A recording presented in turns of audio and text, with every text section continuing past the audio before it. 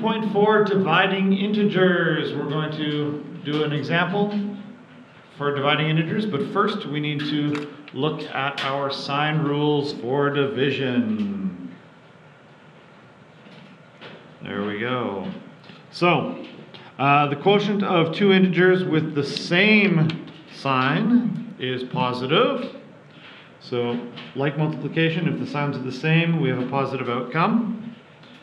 And if the quotient of two integers with different signs, uh, it means that your answer is negative.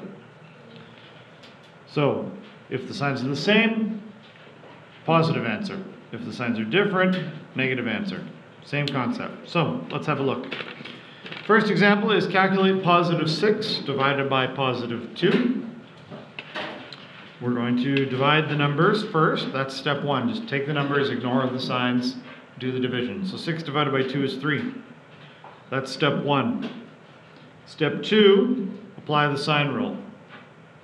The quotient of the two integers with the same sign is positive. This is positive, positive. So go back up to your rules. Positive and positive gives you a positive answer.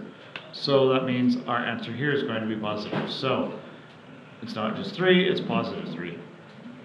So positive 6 divided by positive 2 is positive 3. That's no surprise. You've known for a long time now that 6 divided by 2 is 3. So that's good.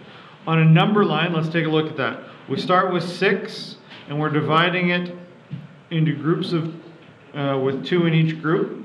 So 1, 2, tick. 1, 2, tick. 1, 2, and there's the end of your arrow. So there's one, two, three sections. So that's one way you can do it with a number line. Example B, same sort of situation. We've got a negative 12 divided by negative 6. Step 1, divide the numbers. 12 divided by 6 is 2. That's step 1. Step 2 is apply the sign rule. The quotient of the two integers with the same sign is, it's going to be positive. So again, both numbers are negative. You can go up here. Both numbers negative gives you a positive answer. So negative 12 divided by negative 6 is 2, but not just a regular old 2, it's a positive 2.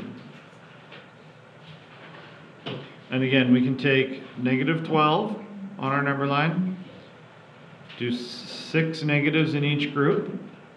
That's one batch of six, that's another batch of six, and that creates if you put a tick there, two sections for your arrow, so your answer is two. Third example, calculate negative 20 divided by positive 4.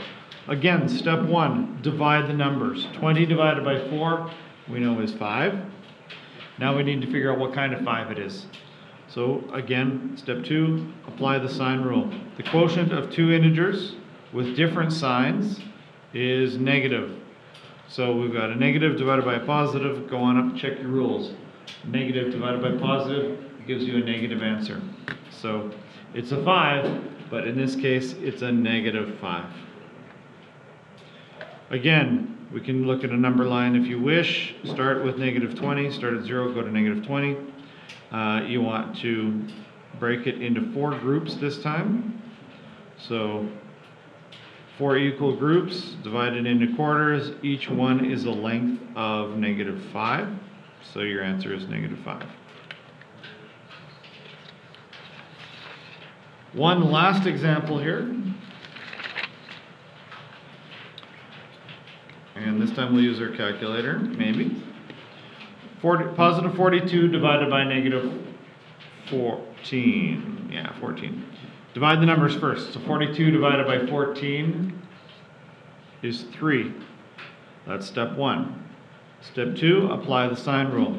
The quotient of two integers with different signs, one's positive, one's negative, they're different, so that means we know that it's going to be negative. So, 42 divided by negative 14, it's a 3, but it's not positive 3, it's negative 3. Now, you can use your calculator to double check this. You can use multiplication to check your division. So you can check it using the opposite operation. We were doing division, we can check it with multiplication. Take your answer, which in this case was minus 3. Multiply it by your divisor. Your divisor is the second number in your division question, so multiplying it by negative 14. When you do that, punch it into your calculator, 3 negative times 14 negative equals, you'll end up with a positive 42, which is the first number in your division question, so you know you've got it right. So you're good to go. All right, so next up is a show you know. Give it a go.